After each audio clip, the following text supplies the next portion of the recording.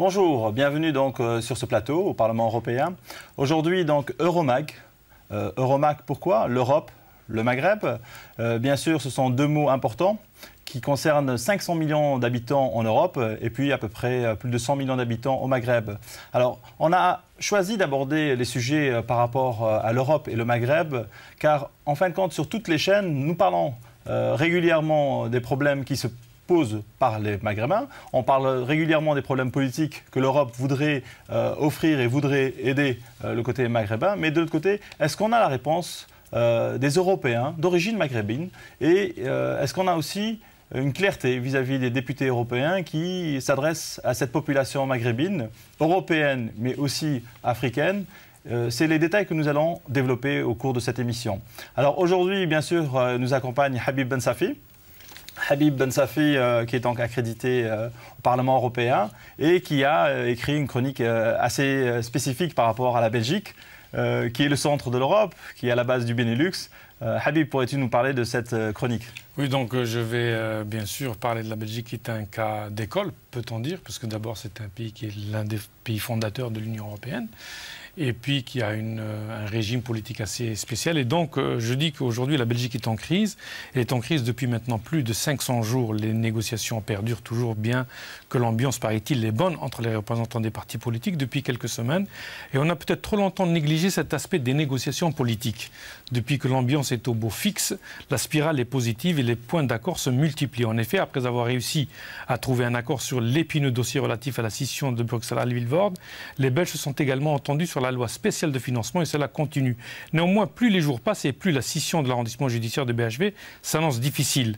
Mais soit en avance, Elio Durupo affiche tout de même un certain sourire inspirant la confiance. Par ailleurs, la question que ne se posent jamais les Belges et que l'on ne peut éviter de se poser en tant qu'étranger d'abord et ensuite en tant que maghrébin et enfin en tant qu'algérien est la suivante. Comment se fait-il que sans gouvernement, rien ne soit bloqué et que tout fonctionne Même mieux, paraît-il, dans certains secteurs. De surcroît, le gouvernement en affaires courantes a annoncé une croissance économique, d'autant plus que les institutions fonctionnent bien. Voilà, donc c'est la question que tout le monde se pose. Les, institutions continuent de fonctionner et donc c'est un très bon exemple pour les pays euh, maghrébins où euh, il y a quelquefois des difficultés de fonctionnement des institutions. Très bonne entrée en matière. En tous les cas, aujourd'hui, nous avons l'honneur euh, d'accueillir, vous l'avez vu, Madame Maria Nedelcheva. Bonjour. bonjour. Donc, qui nous vient de Bulgarie, qui est européenne et qui justement aujourd'hui nous avons voulu inviter pour parler euh, du programme qu'elle défend ici au Parlement européen, des positions qu'elle défend et du pays. Euh, car pour nous, justement, le Maghreb et les pays de l'Est sont euh, aussi prêts à courtiser l'Europe. Et justement, à mon avis, nous sommes sur le même niveau. Alors, Madame Maria Nedelcheva, s'il vous plaît, pourrez-vous vous présenter? Tout d'abord, merci de m'avoir invité de participer dans, dans cette émission. Lorsqu'on se présente en tant que député européen, il faut tout de suite dire que l'un des grands défis pour les députés européens, c'est qu'on défend non seulement les intérêts des citoyens du pays duquel on vient, mais on défend aussi les intérêts des 500 millions d'Européens, d'où aussi la multiplicité de sujets sur lesquels un député européen est amené à travailler. Donc si je pourrais me, euh, présenter, je suis à mon premier mandat, je suis jeune élu euh, de, l'actuelle mandature de 2009. Et évidemment, ensuite, les sujets sur lesquels on se concentre sont quelque peu déterminés par les commissions parlementaires dans lesquelles on participe. Moi, en tant que membre du Parlement, je suis membre aussi de la Commission de l'agriculture et du développement rural. La PAC euh, continue à être le symbole d'une politique européenne commune, mais qui touche aussi euh, l'extérieur du continent européen. Euh, la deuxième euh, commission dans laquelle je participe activement, c'est la commission LIBE, les libertés fondamentales, justice, sécurité intérieure. Donc toutes les questions liées à la migration et qui justement touchent les pays maghrébins sont, sont à l'ordre du jour. On voit à quel point c'est le, phénomène migratoire, puisqu'il touche les gens, les personnes, a euh, une dimension énorme. Et donc il faudrait à chaque fois aussi prendre en compte les différentes sensibilités et veiller à ce que ce soit un phénomène qui amène à des conséquences positives et pas le prendre dans les négatives parce qu'on s'aperçoit très rapidement que le phénomène migratoire peut, peut réellement servir à alimenter des peurs, à être instrumentalisé. Et je, je le dis tout de suite, je vois, tout, euh, je vois euh, le phénomène migratoire comme quelque chose de très positif. Il suffit néanmoins de, de, le repenser à ce stade-là parce que je pense que les années nous ont montré que toujours l'approche qui est adoptée, ce n'est pas une approche qui prend en compte l'intérêt des deux parties. Là, je parle de l'Europe et euh, des pays du Maghreb, par exemple. Euh, évidemment, je, suis aussi membre de la Commission des, droits des femmes et de l'égalité des genres, une question essentielle, même si euh, moi, en tant que jeune femme qui, vit avec son temps, ça, a été un peu surprenant qu'au XXIe siècle, des problématiques telles que l'égalité des, hommes et des femmes continuent à être débattues, mais on se rend compte qu'en un siècle, il y a beaucoup de choses qui ont été faites, mais il en reste encore beaucoup, qu'il s'agit euh, de, la conciliation entre la vie personnelle et la vie professionnelle, qu'il s'agit de la place, du rôle des femmes dans les, sphères où les décisions se prennent, parce qu'on s'aperçoit très rapidement, les femmes sont très, très bien représentées, là où il faut faire les tâches, au niveau exécutif, mais au niveau de, là où la décision se, se, prend, on, on s'aperçoit très rapidement que les chiffres sont alarmants. Je donne un exemple concret. Si on, on regarde les directoires de bord des grandes compagnies européennes, on s'aperçoit qu'il y a seulement 3% des femmes. Alors, première question, les femmes, ne serait-ce que démographiquement, représentent plus de 50% de la population de, la planète. Mmh. Alors, comment ça se fait que cette moitié de la planète n'est pas représentée dans ces sphères-là? Donc, c'est le travail strictement législatif, mais j'apporte et, je donne une grande importance à mon travail qui est lié à la politique extérieure de l'Union. On, on le dit depuis des années, on veut que l'Europe parle d'une seule voix. On veut que l'Europe ait une dimension politique renforcée. C'est ce que nous avons voulu avec la mise en place du traité de Lisbonne et la création du poste de, de Mme Ashton, la haute représentante pour la sécurité et la politique étrangère. Mais cette politique extérieure, elle prend aussi de nombreuses formes. Je suis très impliquée dans les missions d'observation électorale. Je trouve que les missions d'observation électorale consacrent le moment aussi le plus démocratique dans, un régime qui se veut démocratique, justement le moment des élections. C'est un instrument dans la boîte à outils que nous avons, mais et là je, je, reste très très engagée, notamment par ma participation dans de nombreuses missions que j'ai eu l'honneur et la chance de faire en Afrique. Euh, dernièrement, j'ai été chef de la délégation du Parlement pour le référendum au Sud-Soudan, pour les élections au Nigeria. J'ai également observé les élections en Tanzanie, au Togo, au Burundi.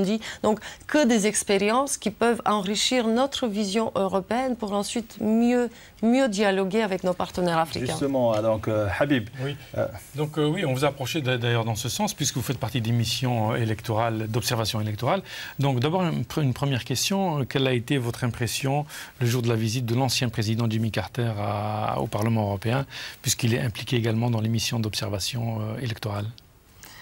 Déjà, c'est cette visite, elle suscite l'admiration de tous ceux qui participent dans ces missions d'observation électorale. En effet, le président Carter est fortement impliqué dans toutes les causes caritatives, mais également dans tout ce qui touche aux observations électorales. J'ai eu la, chance de, rencontrer les représentants du, Jimmy Carter Center, qui, est l'une des, aussi toujours des, plus grosses missions d'observation électorale. Et ce qui nous touche, c'est de, voir qu'au final, la communauté internationale est capable de s'accorder sur des objectifs communs promouvoir la démocratie, la paix, la sécurité, mais en plus, elle est capable d'élaborer des instruments communs, les fameux standards internationaux, de les discuter, de les adapter. Donc c'est un signe très positif parce que je pense, et comme j'ai eu la chance de, pouvoir l'exprimer euh, en participant dans, ce panel à, haut niveau, euh, c'est de dire que lorsque la, communauté internationale euh, travaille ensemble, d'une part, ça renforce sa voix, euh, mais d'autre part, surtout, elle envoie un message très fort aux citoyens des pays où il y a des missions d'observation électorale. C'est en entendant, euh, ce n'est qu'en écoutant une communauté internationale qui est unie que les citoyens peuvent croire à leur propre capacité d'union, à leur propre qualité de, faire eux-mêmes un processus démocratique qui correspond à, toutes les exigences. Juste une petite question peut-être à propos de, vos missions électorales, vos, missions d'observation. À l'issue de ces missions, vous élaborez un, un rapport euh, en général. Est-ce que vous tenez compte des facteurs influents sur la population, par exemple le régime politique, les anciens régimes, la situation financière du pays, etc. Est-ce que vous, vous incluez ces, ces, paramètres qui influent sur les décisions de, des votants? Dans les rapports, tous les aspects sont pris en compte. Euh, dans ce sens-là, j'éprouve une réelle fierté parce que notamment l'Union européenne a élaboré une méthodologie très stricte pour pouvoir justement présenter le rapport. C'est-à-dire qu'un rapport à la sortie des élections, ce n'est pas juste des écrits d'une équipe qui était sur place et qui a décidé de présenter les choses subjectivement. Pas du tout. Il y a une méthodologie très stricte avec plus d'une quarantaine d'indicateurs qui sont identifiés qui concerne tous les aspects de la vie politique, économique et sociale qui influent sur, sur le, positionnement des citoyens, le positionnement des partis politiques, le positionnement du pays sur le plan régional aussi ou international. Et tout cela fait, fait objet d'une analyse très, très neutre et professionnelle. Et ensuite, on présente les résultats de cette analyse. Moi, je, je voudrais dire, c'est euh, cette semaine, euh, donc, euh, la Commission l'a rappelé, elle est toujours invitée. Mm. Alors, euh, du côté maghrébin, on se pose toujours la question euh, est-ce qu'un invité euh, doit suivre les règles de bonne séance? C'est-à-dire que quand il arrive, il est invité.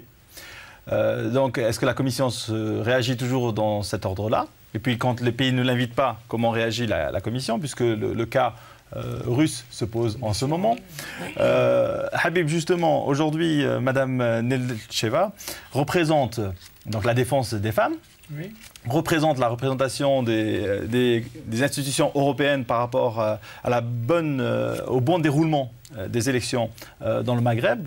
Est-ce qu'au Maghreb, on voit toujours ça d'un bon oeil ou est-ce qu'on a l'impression que c'est une ingérence toujours imposée? Oui, c'est vrai que c'est très difficile quand une mission d'observation électorale euh, vient dans, un pays parce qu'on a toujours l'impression que ce sont des scrutateurs euh, qui, qui, veulent, euh, qui ne croient pas tout, tout, tout, le monde, etc. Et donc moi la question que je me pose et que je vais vous poser d'ailleurs, donc comment se prend la décision d'organiser une mission électorale, d'observation électorale dans les pays Est-ce que c'est une invitation que vous attendez ou bien est-ce que vous proposez vous-même parfois d'aller observer des élections? La règle veut qu'on doit être invité.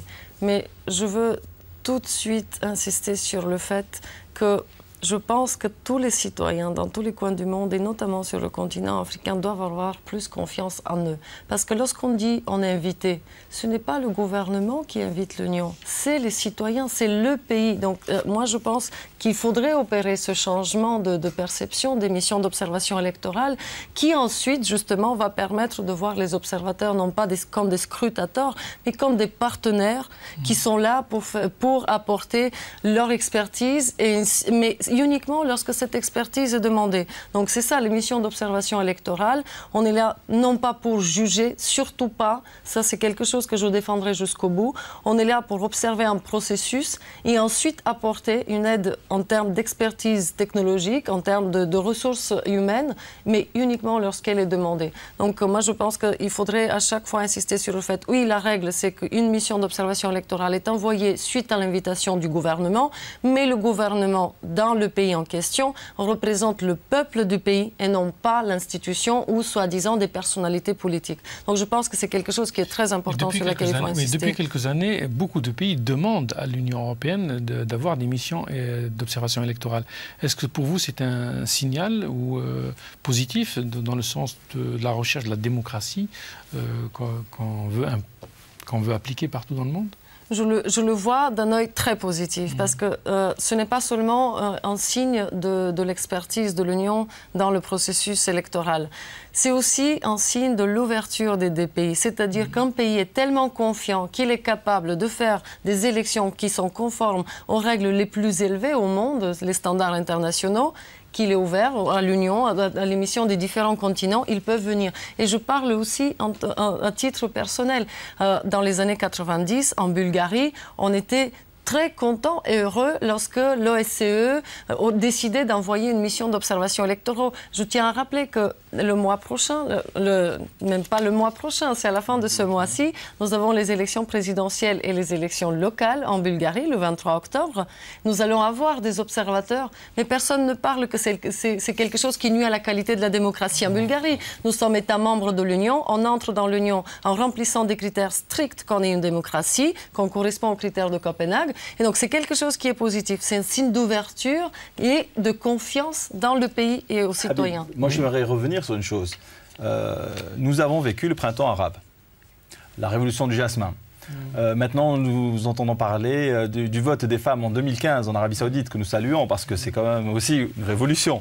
Malgré que, euh, pour nous, au niveau du Maghreb, je crois que la femme a toujours été à côté des hommes lors des véritables révolutions contre les pays colonisateurs.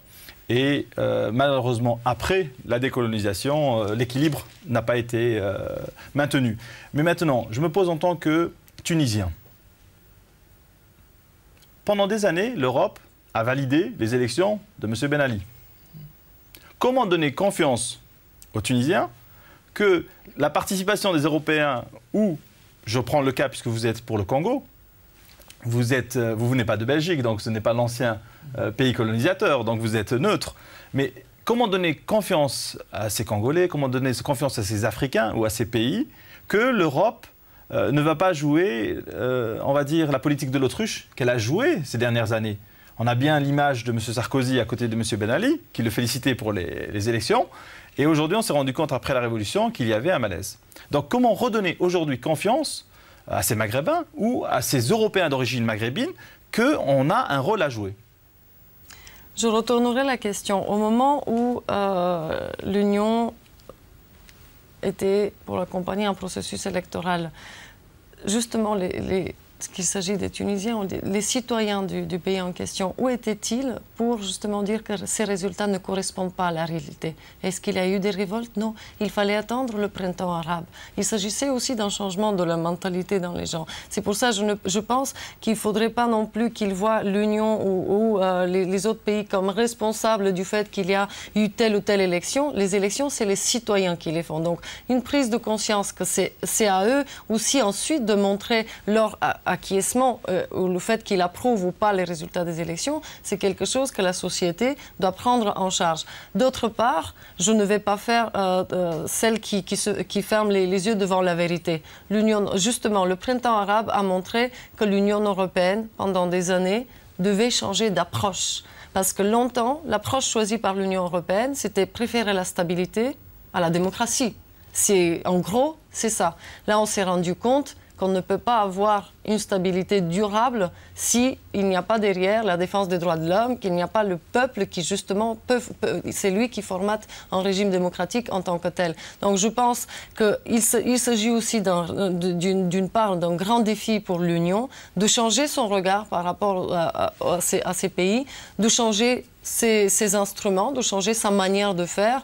Et justement, les élections démocratiques qui vont avoir lieu sont l'occasion aussi pour l'Union de, de, prendre sa part de responsabilité. Elle est là, il faut la reconnaître, il ne faut pas avoir honte et ainsi poser de nouvelles bases, mais cette fois, non pas en préférant la stabilité à la démocratie, mais en prenant en compte les aspirations des peuples. Ça, je pense que c'est quelque chose qui est en train fondamentalement de changer et je ne pense pas qu'il va y avoir un retour en arrière. Euh, espérons vraiment euh, que ce que vous avez dit là euh, sera appliqué sur le terrain.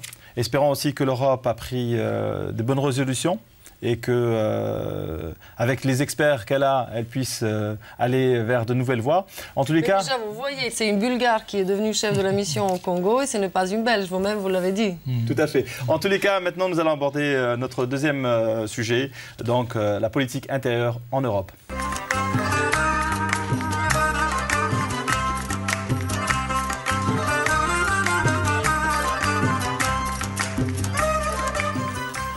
Donc, euh, après avoir parlé des élections, on va parler de la stabilité, car sans stabilité financière, il ne peut pas y avoir de démocratie, il ne peut pas y avoir d'élections, il ne peut pas y avoir de, pays. Euh, aujourd'hui, l'Europe fait face à une crise, une crise incroyable. Euh, pour exemple, parmi 16 banques qui avaient été testées au mois de juin, je crois, une des banques belges, franco-belges, n'était pas citée, et pourtant on se retrouve devant une catastrophe aujourd'hui. On se retrouve euh, devant des fonds qui sont couverts jusqu'à 100 000 euros et tous les politiciens se félicitent. Mais bon, euh, on sait très bien que, par exemple, rien que dans ce petit pays qui est la Belgique, euh, il y a plusieurs personnes qui ont plus de 100 000 euros dans cette banque. Donc le, problème se pose. Alors, Habib, pourrais-tu nous préciser un petit peu des détails sur cette crise? Euh, écoutez, ben, l'Europe vacille euh, à cause de la crise financière, surtout essentiellement la zone euro qui fait l'objet de menaces euh, donc, des marchés internationaux, des organismes financiers internationaux. Et d'ailleurs, la, plus grande menace aujourd'hui qu'on vit, c'est celle de la Grèce. Les, organismes internationaux attaquent en fait les dettes souveraines. Donc, et c'est le principal défi aujourd'hui que l'Union européenne a en face d'elle, enfin surtout la zone euro, puisqu'aujourd'hui, euh, il n'y a pas que la Grèce, il y a aussi euh, l'Espagne, il y a aussi le Portugal qui vont suivre. Et donc maintenant, euh, on va demander à Madame la députée que dit-elle de cette crise de la, de, la, de, la, zone euro et essentiellement de la crise de la dette? Est-ce que vous pensez que les Européens vont être solidaires puisqu'ils ont à chaque fois reporté, reporté jusqu'à maintenant. Ils vont attendre peut-être le sommet européen des 17 et 18 octobre prochains pour prendre une décision finale. Mais est-ce qu'ils vont finalement prendre la bonne décision? Est-ce que ces tergiversations n'ont pas fait que euh, les, marchés internationaux ont accentué, ont mis de plus en plus de pression sur, euh, sur la Grèce? En ce qui me concerne, je crois en la solidarité européenne. Et je tiens à rappeler que depuis 50 ans, si on regarde de près la construction européenne, l'Europe en est ressortie à chaque fois plus forte après une forte crise. Donc ça reste pour moi un signal positif. Néanmoins, il ne faut, il faut, pas, faut pas oublier qu'on vit un moment très difficile. Ce qui se passe avec la Grèce actuellement, pour moi, est là pour nous donner quelques leçons. C'est-à-dire que l'une des grandes leçons pour moi, lorsque l'Union se fixe des objectifs, il faut les respecter. Le fait que depuis des années, il y a des pays qui ont largement dépassé le déficit, l'objectif fixé des 3%, ça donne une situation devant laquelle on est presque impuissant, alors qu'on pouvait peut-être réagir à temps si on était bien alarmé et, surtout si l'information a été dévoilée.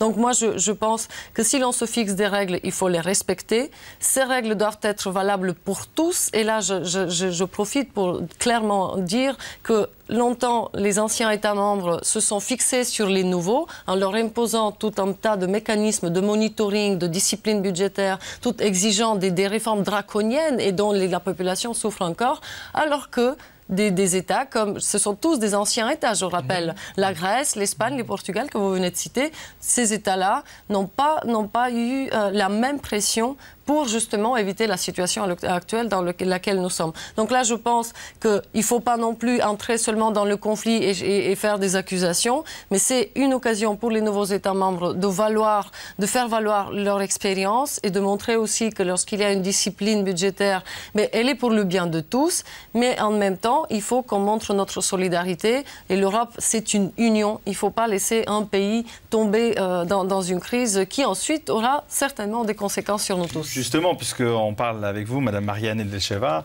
euh, comment se porte la Bulgarie? Elle se porte très bien. Donc, euh, la Bulgarie, en effet, sur, traverse cette crise, je ne peux même pas dire surmonter, la traverse très bien. Nous avons des indicateurs économiques stables, mais je peux encore une fois l'assurer. Ça fait partie de la volonté politique du gouvernement actuel d'imposer cette discipline. Vous savez, ce n'est pas, pas, pas facile lorsqu'il y a euh, chaque jour une catégorie de la population, les entrepreneurs, les médecins, les gens dans l'enseignement supérieur, qui veulent plus de budget il faut, il faut, c'est aussi un travail de tous les jours, un travail pédagogique, expliquer qu'on traverse une période pendant laquelle la discipline budgétaire est de, de rigueur et il faudrait qu'on continue pour ensuite pouvoir capitaliser le fait que pendant cette crise, on n'est pas resté sans argent, on a su garder. Avez-vous une question? Oui, vous pensez, que vous pensez, juste un petit détail, vous pensez que la Bulgarie va respecter les critères du pacte de stabilité, c'est-à-dire les 3% de déficit public et euh, les 60% de, de dette publique? Pour l'instant, elle les respecte, elle est en bonne voie, en tout cas. Par rapport à d'autres pays, elle est très bien, très bien placée euh, au sein de l'Europe. Et sa position du point de vue de la Banque centrale euh, bulgare, est-ce qu'elle est plus ou moins indépendante ou... La position de, de la Bulgarie, c'est qu'on a confiance au niveau européen et tout transfert d'une politique au niveau européen avec une exigence très strict sur la transparence, les moyens et ensuite euh, les mesures qui sont prises, c'est quelque chose qui nous permet d'échapper aux différentes instrumentalisations au niveau national, donc on est pour. Habib, question directe. On a parlé de la Bulgarie. Comment se porte le Maghreb? Et est-ce que l'Europe courtise euh, les financiers maghrébins? Euh, Oui, bien entendu, euh, c'est une grande question. Euh, le Maghreb peut être, bien entendu, surtout du point de vue de l'énergie, comme l'Algérie est un pays pétrolier, un pays gazier, bien entendu qu'il est courtisé, bien entendu que les Européens demandent d'avoir des relations plus approfondies et économiquement.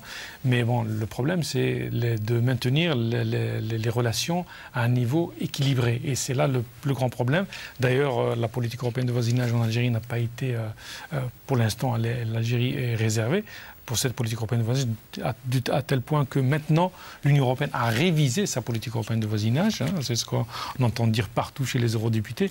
Maintenant, que va faire l'Union européenne? Est-ce qu'elle va réellement euh, changer de cap ou est-ce qu'elle va faire du cap à ce qui a été annoncé par le, commissaire européen je, déborde parce qu'il n'y a pas que l'Algérie, il y a la Tunisie, il y a le Maroc, il y a la Mauritanie, il y a la Libye. la Libye aussi a de l'énergie, mhm. mais le Maroc, la Tunisie comptent beaucoup sur le tourisme. Et comment se porte le Maghreb?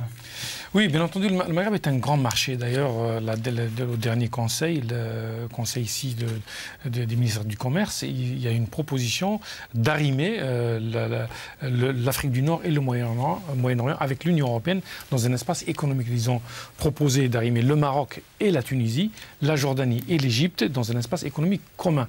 Je pense qu'ils vont approfondir les relations. Ils ont appelé ça euh, une relation approfondie et complète. Donc, voir ce que ça va donner. Comment se porte le Maghreb Voilà, donc il se porte bien. voilà. En tous les cas, on voulait suivre euh, les différentes interviews qu'on a réalisées. Euh, bien sûr que cette question sur la crise euh, grecque touche pas mal de personnes, de grandes interrogations. Est-ce qu'on va continuer à financer? Une des images a été que c'était des billets de 500 euros qui étaient envoyés dans des sanitaires et on attendait que les sanitaires se bouchent pour pouvoir voir la résolution. C'est un petit peu une image c'est bizarre. Mais euh, je vous invite à suivre euh, toutes les interviews que nous avons réalisées.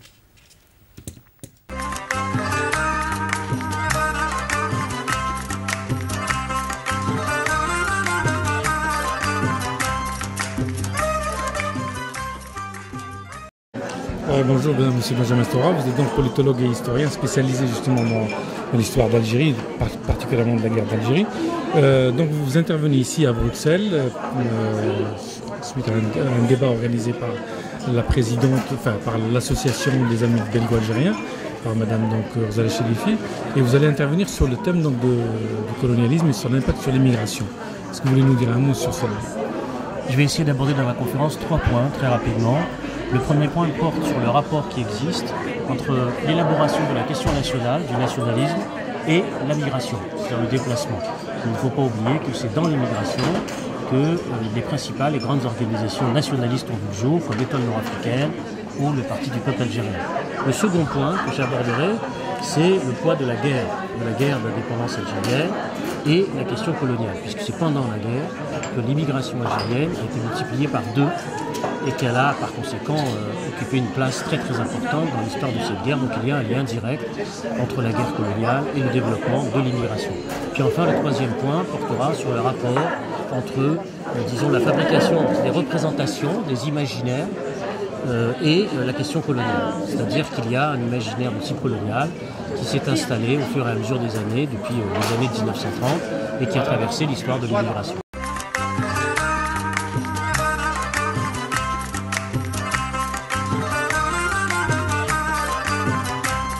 Je me réjouis, je me réjouis vraiment de, l'institution de cette association, de cette relation belgo-algérienne. J'ai été très sensible au fait de, euh, ce que euh, on, disait tout à l'heure, euh, que les Belges méconnaissent vraiment l'appui que certains Belges, je ne dis pas la Belgique officielle, mais certains Belges ont, donné à, la, guerre ont apporté à la guerre d'indépendance de l'Algérie.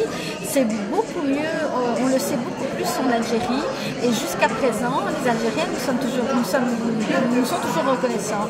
Et dans nos rapports, euh, nous avons des relations tout à fait privilégiées euh, de par cette, histoire ancienne, cette amitié euh, que, les, que les Algériens n'ont jamais oublié. Pendant les années 70, nous étions aussi très nombreux, comme il y avait beaucoup de coopérants belges à, l'époque.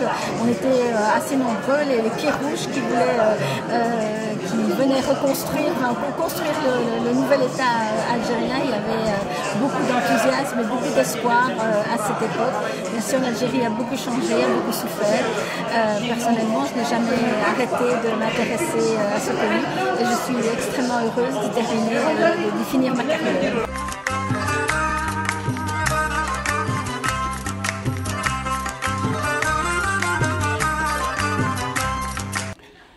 هذا المؤتمر يعتبر فرصة سانحة لنتبرك بدماء شهداء الأبرار ونحن نحيي الذكرى التاسعة والأربعين وهو يعتبر أيضا بداية للذكرى الخمسينية نصف قرن على استقلال الجزائر. فهذا المؤتمر كان أيضا وقت ثمين للحديث عن كل ما يتعلق بالشعب الجزائري والدولة الجزائرية وهي تمر في وقت خاص نتكلم فيه عن الإصلاحات ونتكلم فيه عن ما يهم المنظومة السياسية من جهة وما يهم المجتمع المدني من جهة أخرى.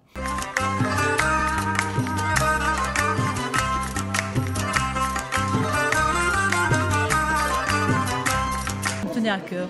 Ça me tenait à cœur parce que tout simplement c'était aussi l'hommage à ces amitiés belgo-algériennes, l'hommage à ces, différents résistants euh, belges qui ont soutenu la cause algérienne, mais aussi nos Algériens de l'immigration dans, les années 50 qui ont résisté, qui ont milité, qui se sont battus et qui n'ont pas eu, comme disait M. Stora, qui n'ont pas eu la reconnaissance par la suite par nos États la Fédération de France, donc tout, ce mouvement de, France et même de Belgique en plus, n'a pas été reconnu par la suite par, les, personnes qui ont repris les rênes du pouvoir après les indépendances.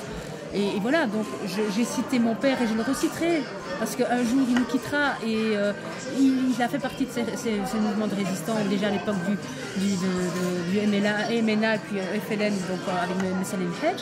Il a souhaité venir, il est venu, il était super content d'être présent, mais il a été tellement c'était tellement discret, il était en fait c'était le, personnage oublié tout comme ses autres amis encore présents aujourd'hui en Belgique. Et c'est vraiment un hommage parce qu'ils sont combattus pour nous, pour ma génération et, aujourd'hui pour notre, notre, génération future. Et c'est eux, c'est cette jeunesse-là qui feront euh, le, futur de notre pays. Et c'est grâce à, à, ces gens, à ces personnes-là. Et je voulais que l'Algérie puisse reconnaître aussi cette période de l'histoire et ces personnages de l'histoire.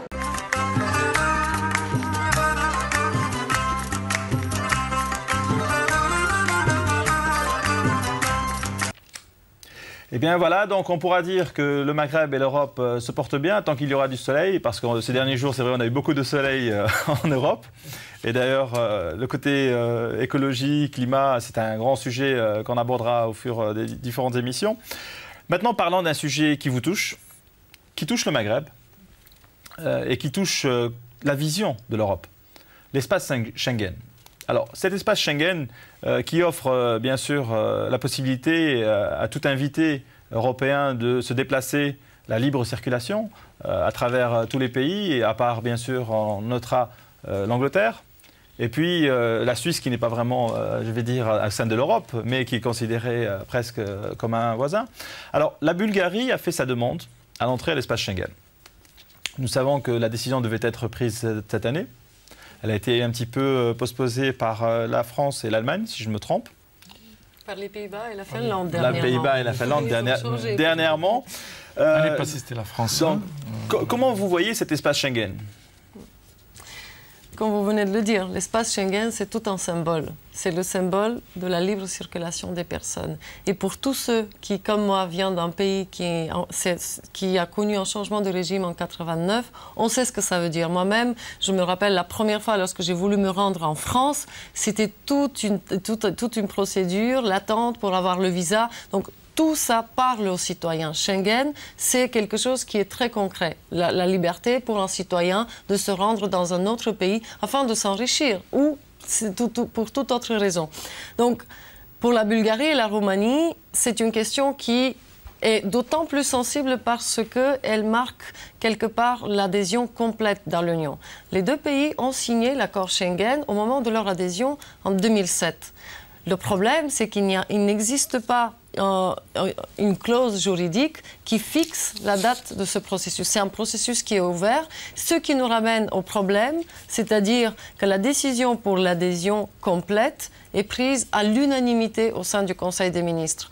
Là, ça pose un problème parce que ce qu'on voit avec la Bulgarie et la Roumanie, et ce qui est tout aussi valable pour tout un tas de sujets soi-disant sensibles et qui touchent la souveraineté des États, c'est-à-dire que 25 États peuvent devenir les otages de la voix d'un ou un autre petit État. Ce qui nous ramène à la grande question de comment se prennent les décisions au Conseil des ministres. Et je trouve qu'au XXIe siècle, faire en sorte qu'un État bloque l'avancement de 26, ce n'est plus possible. Il faudrait passer à la majorité qualifiée. Donc, encore une fois, Schengen pour la Bulgarie et la Roumanie, c'est important parce que cela, cela, marque notre adhésion complète. Et pour les citoyens bulgares. C'est pas facile tous les jours qu'on leur, leur dise oui, vous remplissez les critères techniques, mais vous ne rentrez pas. Donc, est-ce que nous sommes une catégorie différente de citoyens européens? Donc, c'est très difficile. Et je trouve ce comportement de la part de certains États membres de Schengen très dangereux, parce que c'est ainsi qu'on alimente les nationalismes, les populismes les plus dangereux en Bulgarie. Parce que en tant que Bulgare, vous pouvez être très européen, mais au bout d'un moment, il y a aussi une limite.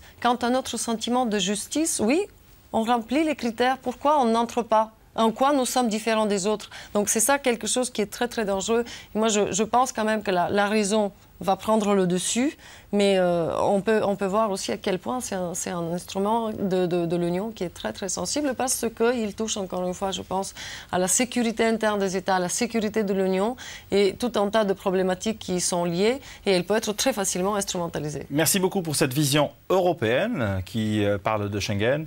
Euh, pour nous, d'origine maghrébine, nous connaissons aussi les problèmes de Schengen, l'invitation, le visa. Euh, Comment s'est passée ta rencontre justement la dernière fois et l'interview que tu avais accordée à M. Sarkozy, qui t'avait répondu au dernier sommet mhm. Et puis, comment tu vois aujourd'hui la chose? Ben, C'est vrai que l'espace Schengen était, enfin l'espace Schengen, surtout les conditions d'entrée dans l'espace Schengen pour les Maghrébins, parce qu'aujourd'hui, un citoyen maghrébin doit faire une demande de visa à n'importe quel pays membre de la zone Schengen et il peut circuler librement dans tout l'espace Schengen. Ça, c'est le principe. Maintenant, bien entendu, les visas sont délivrés au compte-goutte pratiquement, très difficilement. Et donc, euh, maintenant, ils, sont en train de revoir les conditions d'octroi de, visa. Bien entendu, le Conseil a souvent euh, pris des décisions sur ce sujet en disant voilà, il faut euh, libéraliser, etc. Mais euh, ça reste quand même très difficile aujourd'hui, c'est du cas par cas. Maintenant, je retourne la question à, Madame la députée à ce niveau-là. Euh, normalement, la Bulgarie remplit les, critères de, l'espace Schengen, puisque en 2007, quand vous avez signé l'adhésion, eh bien, c'était compris dedans et qu'il y avait un processus.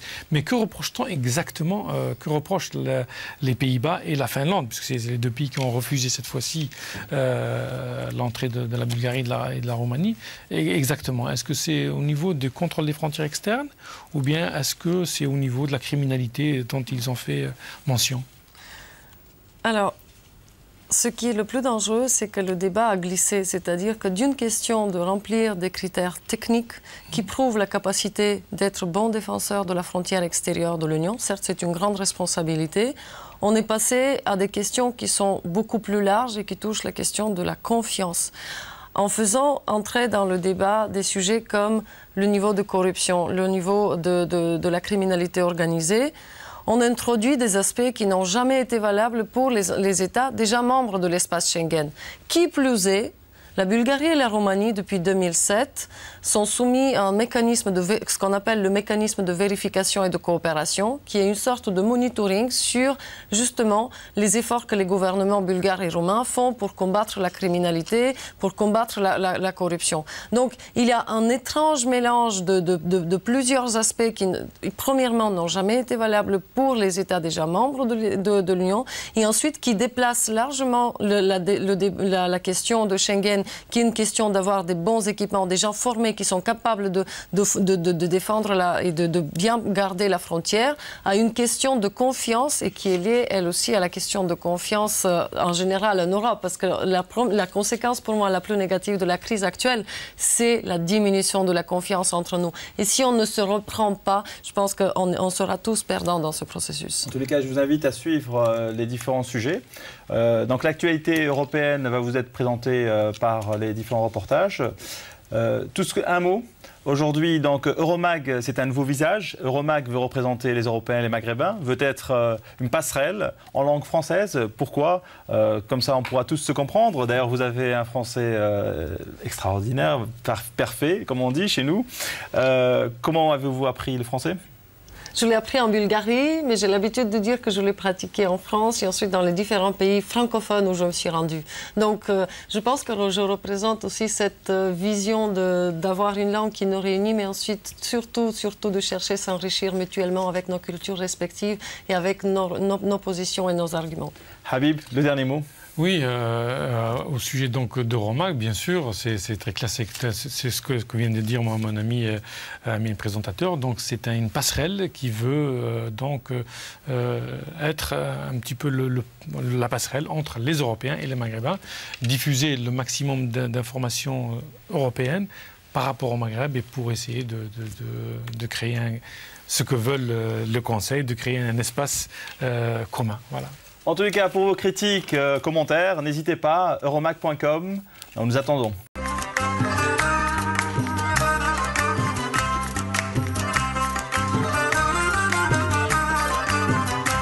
Un, un, partenariat entre l'Algérie et la Belgique. Donc côté algérien, c'est la Fédération algérienne de cyclisme et une équipe euh, continentale. Et côté belge, euh, c'est euh, la société Jeffco avec Geoffrey Coupé, qui est un ancien professionnel. Et on avait, à force de discuter, tombé sur un, une espèce de projet qui, on va peut-être dire fou, mais on s'est dit pourquoi pas. D'un côté, il va y avoir une base de travail, de l'autre côté, il va y avoir une occasion de permettre aux Algériens de concourir au niveau international à partir de la Belgique. Et pourquoi pas un jour une équipe algérienne euh, autour de France et une équipe professionnelle, pourquoi pas. Euh, nous avons toujours essayé, euh, même durant le Tour d'Algérie 2011, de, faire passer le message euh, qui est très simple pour dire que le cyclisme, c'est un panneau publicitaire ambulant, c'est un sport qui, est, euh, qui permet à tous les sponsors euh, de communiquer, c'est un sport qui se passe à l'extérieur, qui va vers les gens. Donc, il faudrait mettre le paquet et qui, qui permette aux Algériens d'évoluer. Et la meilleure des manières pour montrer qu'on peut faire, c'est de faire des partenariats comme cela. Et Geoffrey Coupé comme lui aussi ça le chatouille, je pense que c'est la personne qui est indiquée pour ce genre de projet. Donc il va y avoir trois projets en un. Euh, d'abord, il y a une équipe continentale euh, qui a fait un partenariat avec euh, Jeffco, qui va concourir d'une manière indépendante comme toutes les équipes, qui va être une équipe mixte algéro-franco-belge. Un deuxième projet qui est un projet de la fédération de créer une équipe olympique, d'abord algérienne et ensuite euh, pour permettre aux Algériens et aux Africains de concourir euh, au niveau mondial et de leur permettre de s'exprimer. Et objectif numéro 3, c'est que Geoffrey Coupé va être, faire partie du staff technique qui va gérer les équipes euh, nationales et les équipes continentales en Algérie et ailleurs.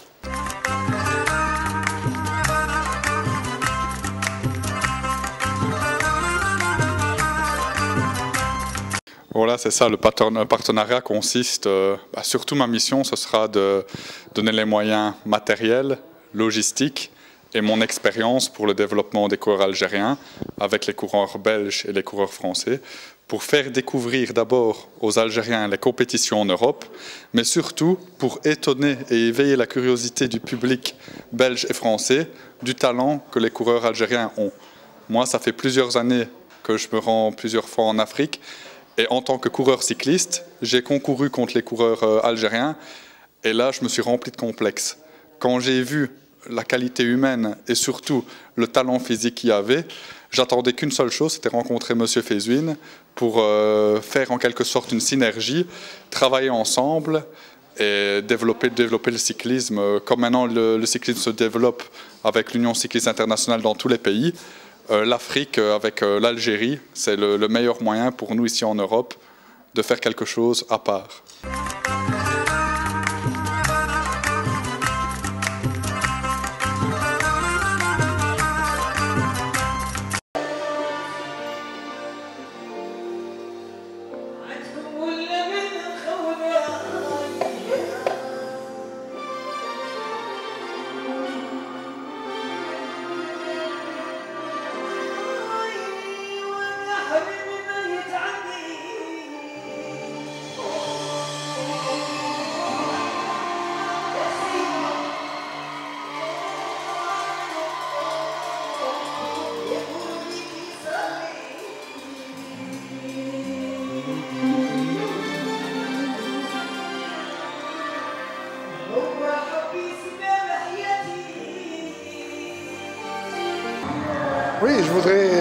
Féliciter M. Benchikou et les membres de l'AFCAD pour avoir organisé cette magnifique manifestation culturelle. Je vois beaucoup d'Algériens en train, habillés à l'algérienne, s'amuser en écoutant des artistes algériens. Je crois que c'est exactement ce qu'il faut faire pour faire sentir à notre communauté en Belgique et notamment dans la région de Charleroi-Mons leur algérianité et les conforter dans leur sentiment d'être algérien. Voilà, je vous remercie.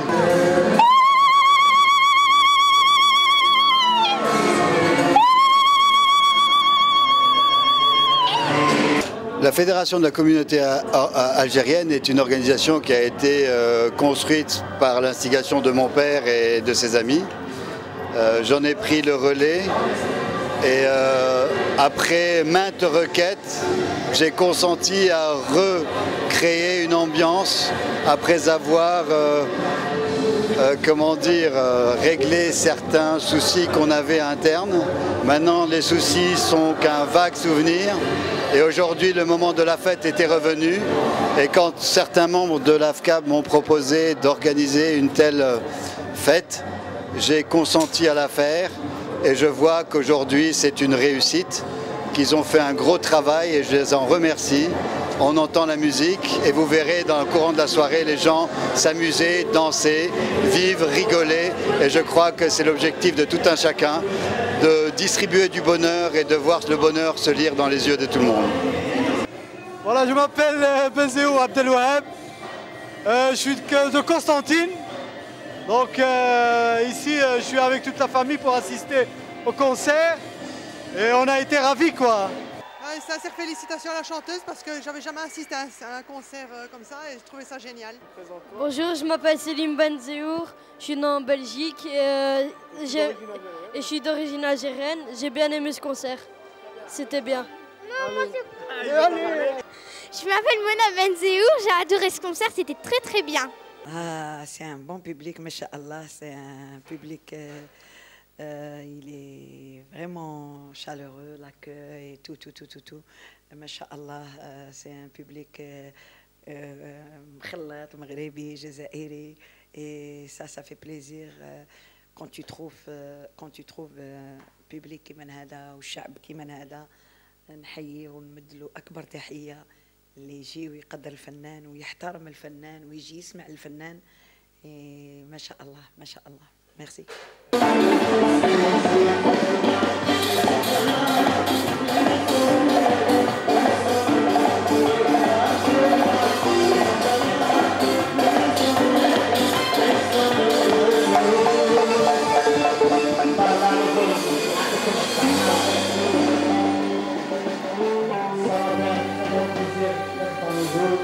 ça m'a fait un très grand plaisir d'être parmi, parmi, vous. C'est la première fois que je suis là Et c'est un public, Allah Barak, chaleureux. Euh, il nous a très très très bien accueillis.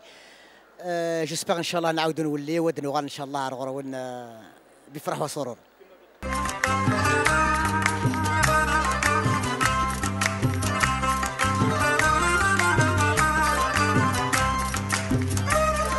Bonjour, nous sommes Marie et Louis et nous vous souhaitons la bienvenue.